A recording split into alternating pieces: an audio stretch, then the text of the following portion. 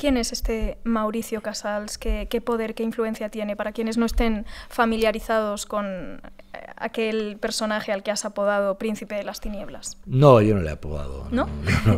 yo soy mucho más humilde que todo eso. No, no creo que sea conocido por... Yo ni me inventé la quinta del buitre ni me he inventado el príncipe de las tinieblas. Es una denominación que le pusieron hace ya tiempo. Mm. Esa es la realidad. Incluso hay artículos mm, que están publicados y gente que ha hecho mm. reportajes muy valiosos sobre este tipo.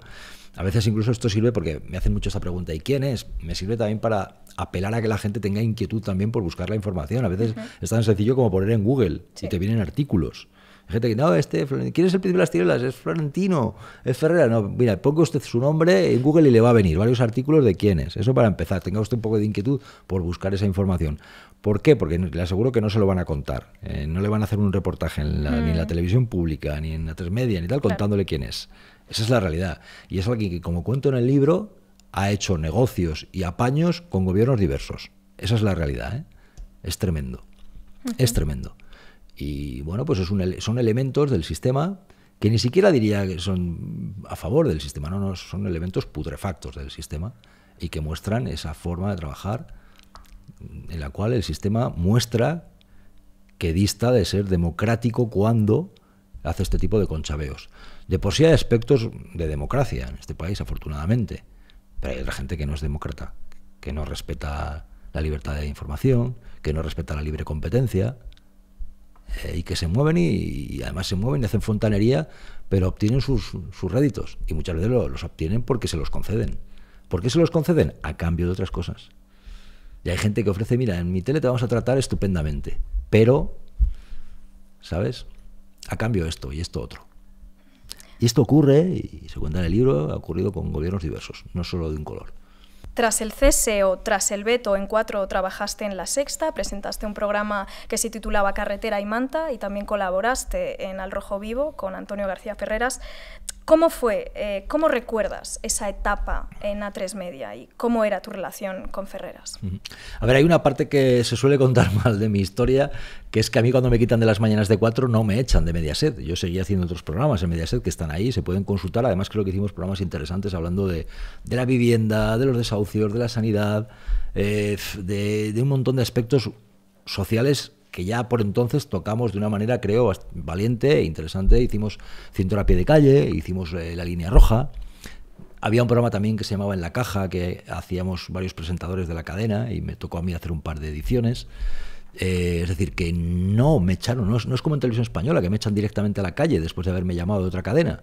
En Mediaset yo seguía ahí con un contrato de cadena, haciendo otros programas, y después el contrato de cadena se acabó porque yo también mm, opté por otro tipo de, no sé, de trayectoria, que veríamos lo que pasaba y finalmente me fui a Transmedia. Pero en Mediaset seguía haciendo otros programas que ahí están. Mm, probablemente trabajos de menos brillo que las mañanas de cuatro, pues probablemente, ¿no? Pero una cosa es echar a alguien a la calle y otra cosa es tenerle trabajando y haciendo otras cosas. Es que eso me interesa matizarlo. Y luego en el caso de A3 Media, eh, pues eh, es una etapa en la cual hicimos Carretera y Manta, que me, parece un programa eh, que tenía una complicación importante porque íbamos con un camión, además nos mandaron salir en invierno y era un programa que se hacía a la interperie, pero tocamos temas creo bastante interesantes y seguro que tenía aspectos que mejorar, pero fue un programa muy, me parece muy útil y muy interesante de, asuntos que están ahí y que iban a marcar creo, pues una trayectoria que creo que es en cierta forma coherente, que he intentado mantener, creo, con mis aciertos y errores. Es decir, al final tocar temas pues muy cercanos a la ciudadanía y,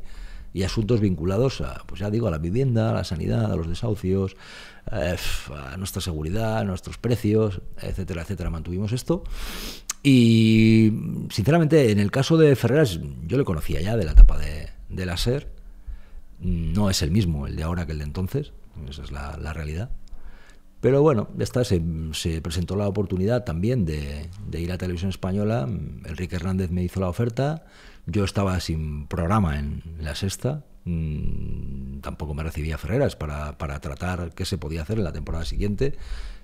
Y opté por, por irme a Televisión Española avisando previamente y tuvieron tiempo incluso para haber hecho una contraoferta, tal que nunca llegó. Eh, y lógicamente pues me fui a la radio televisión pública creyendo que, que, aquello iba a ser una etapa en la cual se iba a poder trabajar, ¿no? Me, hablaron mucho de, de una serie de, asuntos que luego realmente no, no, se cumplieron como tal, ¿no? Pero bueno, son etapas y, y es lo que hay. ¿En qué sentido crees que el Ferreras de entonces no se parece o no es exactamente el mismo que el de ahora? Bueno, yo creo que está ahí creo que está claro, está a la vista de todos, esa es la realidad, ¿no? Vamos a ver, mm, cosas positivas que puede tener Ferreras, una capacidad de trabajo enorme, eh, una persona inteligente, eh, esa es la realidad. Eh, pero luego es cierto que hay un momento en el cual yo creo pues que se muestra claramente una parte que está ahí en esas eh, escuchas con, Villarejo. es decir, mm, el periodismo, que es contar lo que pasa, no es orquestar campañas para destruir a personas. y esto se muestra y yo lo he sufrido. Esta es la realidad.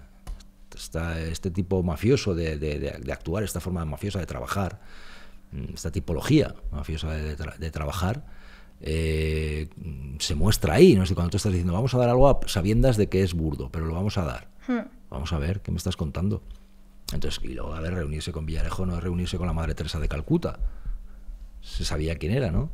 Hmm. Eh, y tú te puedes reunir, cuidado, te puedes reunir para hacer una entrevista, para eh, a veces se ha dicho, no, es que tal persona entrevistó a un terrorista o a alguien que tuvo un pasado terrorista y se han visto entrevistas de este tipo, ¿no?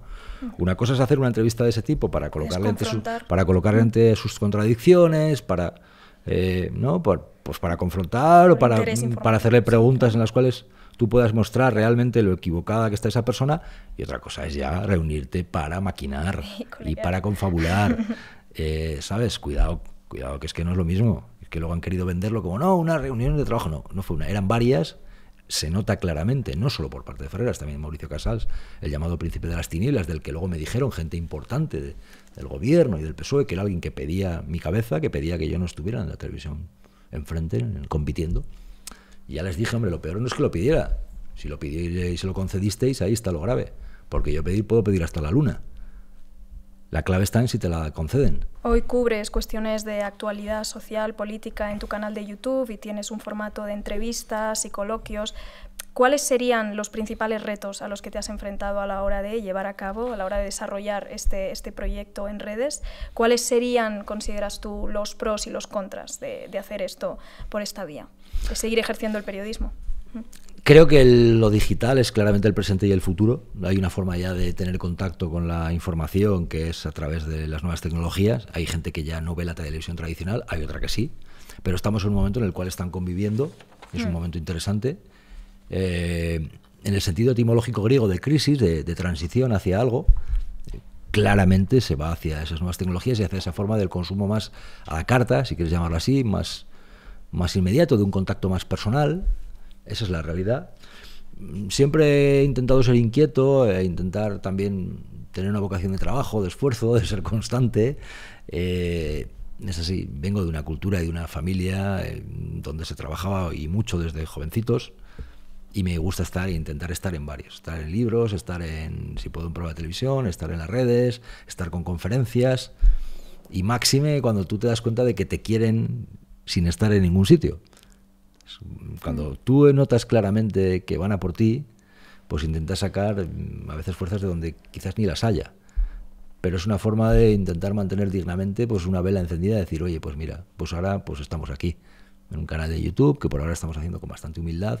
Hay una idea de hacerlo de una forma ah, algo más profesional y, y estar también en redes donde al final es cierto que, mira, estoy haciendo conferencias o, voy a ferias de libro, etcétera, donde hay gente que todavía se acuerda de mí, se está acordando o me está siguiendo porque me ha podido seguir en las redes o me puede seguir en las redes.